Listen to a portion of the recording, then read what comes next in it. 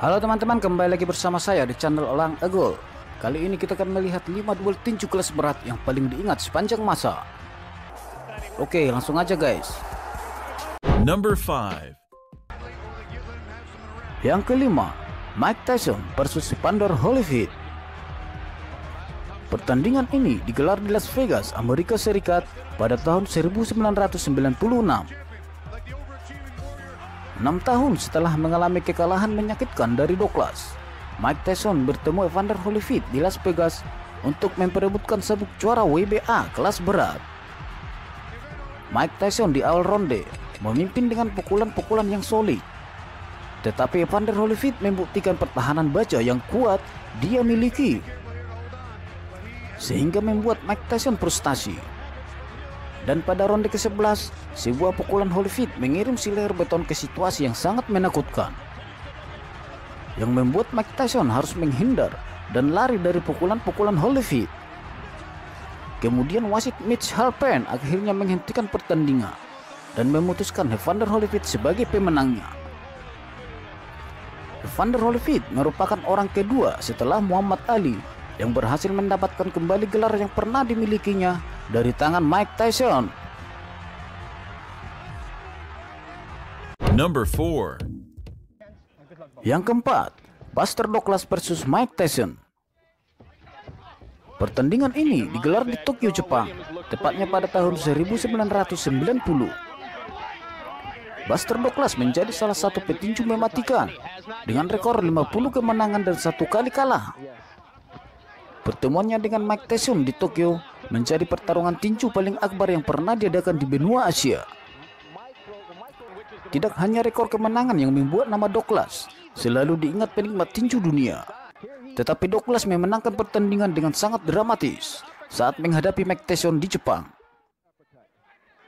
Di ronde ke-8, Douglas tersungkur oleh pukulan keras Mike Tyson. Tetapi tepat sebelum bel berbunyi, dia bangkit sambil terhuyung-huyung melanjutkan sisa ronde. Dan pada dua putaran berikutnya, Douglas mengumpulkan tenaga sambil menunggu momen yang tepat untuk menyerang balik Mike Tyson. Dan tepatnya di ronde ke-10, dia melancarkan pukulan yang memecahkan pertahanan Mike Tyson. Dan Douglas menjadi orang pertama yang berhasil mengalahkan Mike Tyson juara bertahan pada saat itu. Dan Douglas mengatakan, saya tidak pernah benar-benar berpikir bisa mengalahkan Mike Tyson. Number 3. Yang ketiga, Muhammad Ali versus George Foreman. Pertandingan ini diadakan di Kinshasa, Zaire pada tahun 1974. Pada tahun 1974, Muhammad Ali kembali lagi terlibat dalam pertandingan tinju yang menyedot perhatian dunia. Dia bentrok dengan petinju tak terkalahkan, yaitu George Foreman di Afrika Tengah, yang sekarang dikenal dengan nama Republik Demokratik Kongo. Foreman pada saat itu berusia 24 tahun atau 8 tahun lebih muda dari Muhammad Ali. Tetapi rekornya yang tak pernah kalah kau membuat Ali menjadi underdog dalam pertandingan tersebut. Muhammad Ali sudah kalah dalam sistem point dan pada saat itu dia menerima banyak pukulan dan kalah langkah dari Foreman. Tetapi pada ronde ke-8, Muhammad Ali mengatur siasat menunggu lawannya kelelahan dan berhasil merobohkan Foreman dalam satu pukulan saja. Number 2. Yang kedua, Joe Frazier versus Muhammad Ali. Pertandingan ini digelar di New York City, Amerika Serikat, tepatnya pada tahun 1971. Pertarungan yang terjadi di tahun 1971 itu menjadi duel pertama yang melahirkan istilah Fight of the Century karena kebrutalan pertandingan tersebut. Dan pertandingan tersebut pun digelar hingga 15 ronde lamanya. Joe Frazier saat itu berhasil memukul roboh Ali pada ronde terakhir yang menandai kekalahan pertama Ali sepanjang karir profesionalnya. Ali tidak kalah KO. Dia berdiri untuk menuntaskan ronde dan dinyatakan kalah melalui poin. Dan setelah tiga tahun kemudian, Muhammad Ali memenangkan pertandingan ulang dalam pertarungan non-gelar. Number 1. Yang pertama, Max Smelling versus Joe Louis.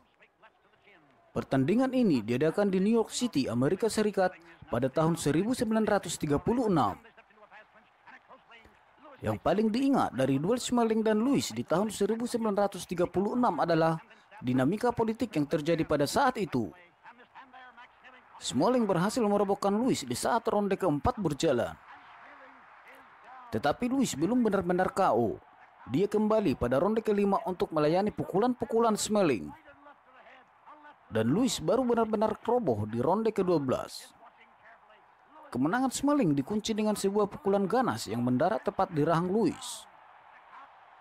Dan ini adalah kali pertama Louis tersingkir setelah tidak terkalahkan selama hampir lima tahun berturut-turut.